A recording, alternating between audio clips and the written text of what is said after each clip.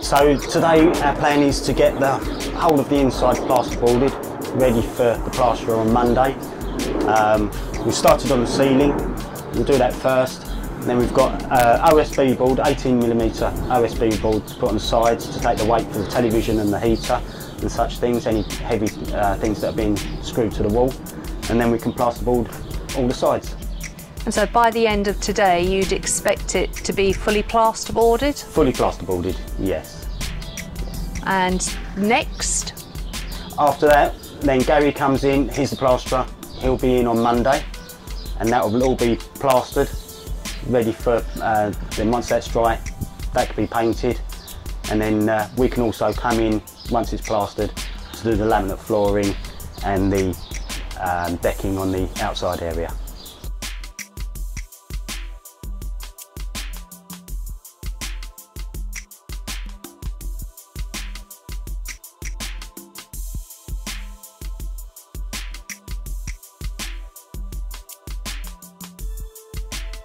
So we put expansion foam above the door. It keeps it tight and fixed as well as stopping any um, air leakages through as well.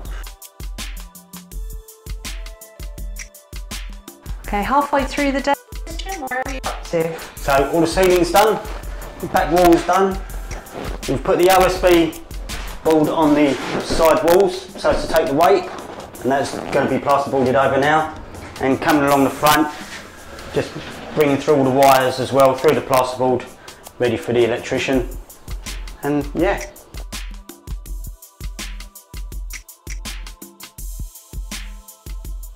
So what's that you've got in your hand there, Christian? So on these on these windows we have a hole here. This is a trickle vent it's called. It's just so that we put that on there. It allows air to come in. You can block it off or you can open it up. That just allows air to come in. Most windows need to have this these days to uh, qualify for an A-rated window.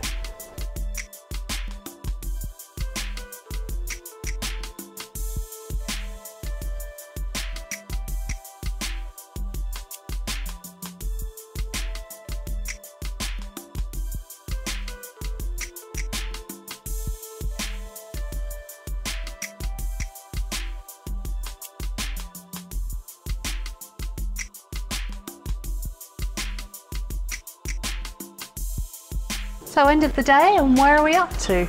So end of the day we've got it all plasterboarded. So that's all ready for Gary now to plaster.